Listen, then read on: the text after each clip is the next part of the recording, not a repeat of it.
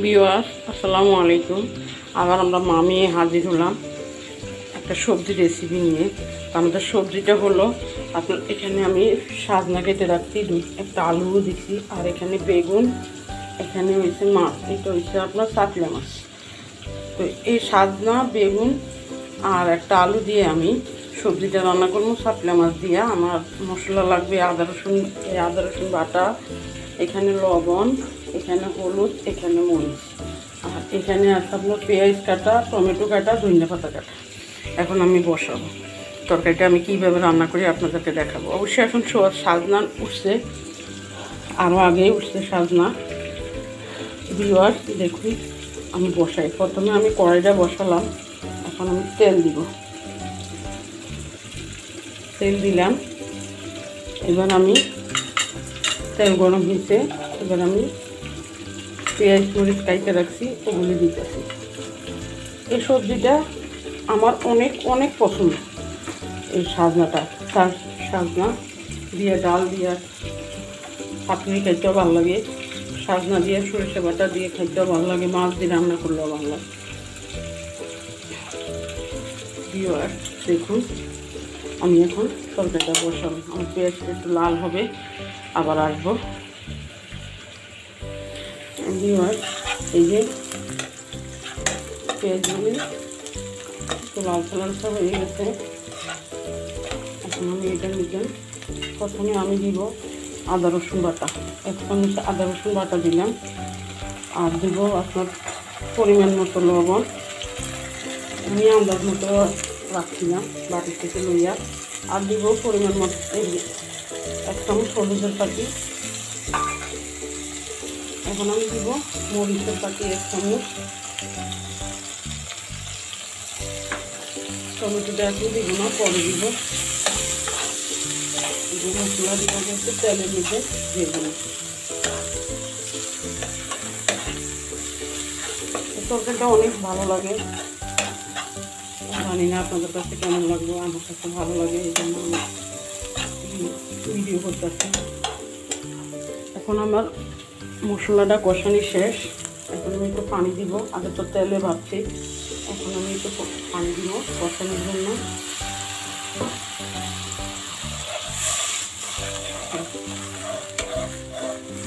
মশলাগুলো ভেজে নিই। ভেজে নেওয়ার পর আবার দেখাবো আপনাদেরকে। দিয়ে দিলাম। মশলাগুলি বলক আসতেছে। ভালো করে মশলাগুলি কষিয়ে নেবেন। যেই দাও তরকারি রান্না করেন বা মাছ, মাংস, সবজি জাতীয় জিনিস রান্না করলে মশলা ভালো করে কষাইতে হয়।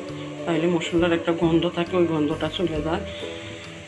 বিওয়ার এখন আমার মশলাগুলি কষানো শেষ। এবার আমি দিব এখানে আমার সাজনা সাজনা কাটা আর একটা আলুও দিলাম। আমি দিয়ে দিব।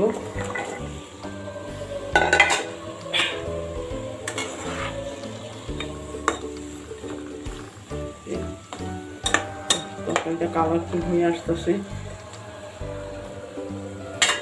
তারপরে আমি দিব। এবার বেগুনটাও দিয়ে দিব।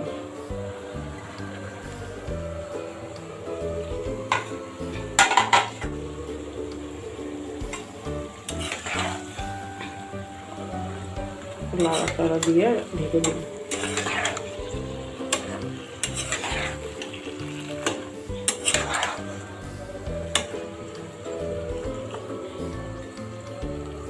এবার এখন আমি পাঁচ মিনিটের জন্য ঢেকে দিলাম। পাঁচ মিনিট পরে আবার দেখব মশলা কষানি, সবজিগুলো কষানো হয়েছে কি না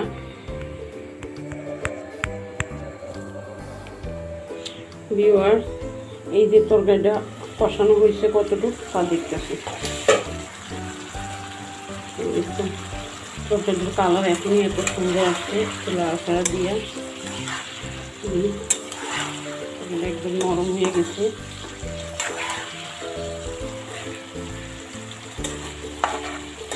সাহায্য রাখা অনেক- বেশিরভাগ মানুষেরই পছন্দ।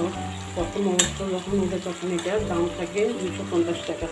তারপরে আস্তে আস্তে পুরো নিতে থাকে আর আসতেও থাকে বেশি বেশি বাজারে। এখন আমি টমেটো দিয়ে দিব। আগে টমেটো দিই নাই, কারণ টমেটো করতে যদি বেগুন সিদ্ধ না হয়। এই জন্য টমেটোটা একটু পরে দিচ্ছি, একসাথে ছেড়ে দিলাম। চুলার আঁচটা একটু কমিয়ে দিব।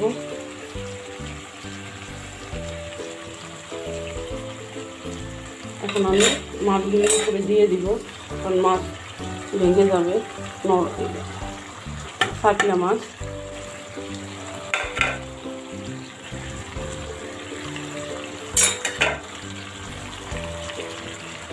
হালকাভাবে লাগা দিই বেগুন আলু সাজনা গলে গেছে এখন আরেকটু দুই মিনিটের মতন আমি কষাইতে থাকব। আবার একটু ভালোভাবে কষিয়ে নেব। এখন আমি একটু রেখে দিই মিনিটের জন্য। দুই মিনিট পর আবার আসব। ভিওয়ার্স দেখেন। মাছগুলি এখন সাদা সাদা লাগে, পরে কিন্তু সাদা সাদা লাগবে না। যখন ঝোল দিব, ভিতরের সব মশলা মাছ লেগে যাবে। মাছটা অনেক মজার মাছ এটা।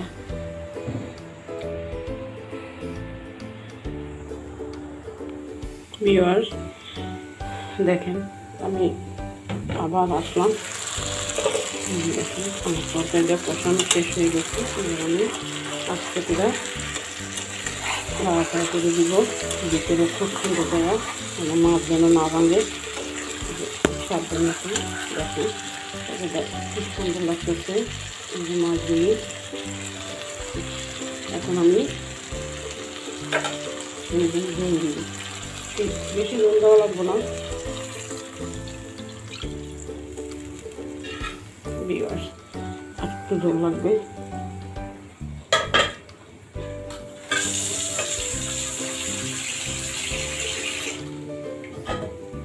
আমরা মা, মেয়ে আর একটু জল মা, মেয়ে ব্লগস থেকে এই ভিডিওটা দেখাইতেছি রান্নাটা, সাজনা দিয়ে, বেগুন আলু দিয়ে সাপড়িয়া মাছ রান্না। এই যে আমার জল দেওয়া শেষ, মাখা মাখা করে এখন বলক আসলে বুঝতে পারবেন না যে আমি মাছটি পরে দিলে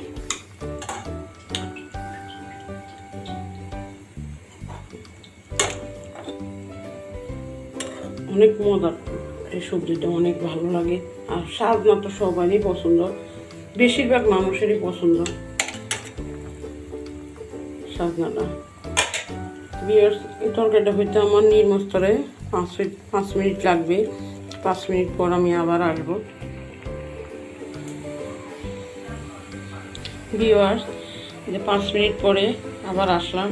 কি অবস্থা দেখি আমার তরকারিটার, আমার পছন্দের তরকারিটা। আশা করি আপনাদেরও পছন্দ হবে। দেখুন, এই যে মাছগুলো কি সুন্দর হয়ে গেছে।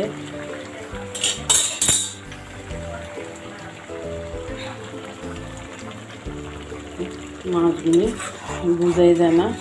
এটা মাছ আর সবজি মাখা মাখা হয়ে গেছে তরকারিটা। সাদনা বেগুন, আলু সব গুলে একাকার তরকারিটার কালারটা অনেক সুন্দর আসছে। ঢাকনাটা ওঠার সাথে সাথে অনেক ফ্লেভারটা অনেক ভালো লাগছে। বিওয়ার আপনারা রান্না করে খাবেন। বাসা, আর সাজনা তো বেশিরভাগ মানুষেরই পছন্দ সাজনা। আমারও খুব পছন্দ। আমি এই সাজনা তরকারিটা রান্না করছি, সবজিটা আমার, আপনাদের কেমন লাগছে তা জানি না। আশা করি ভালো লাগলে অবশ্যই জানাবেন কমেন্ট বক্সে জানাবেন। আর পাতাগুলি ছড়িয়ে ছিটিয়ে দিয়ে দিছি।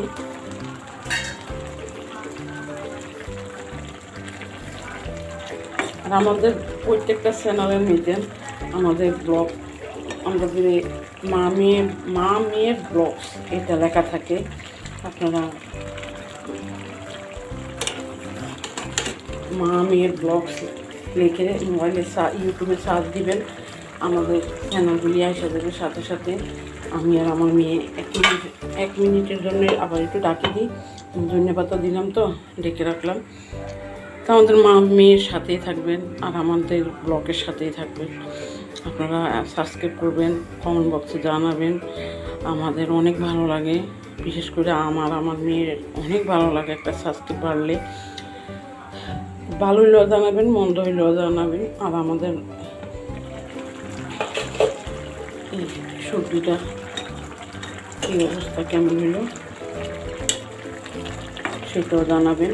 আর আপনারা দেখবেন, অবশ্যই দেখবেন, এখন আমার তরকারিটা হয়ে গেছে ভিওয়ার্স এখন আমি ঢেকে চুলাটা অফ করে দিলাম।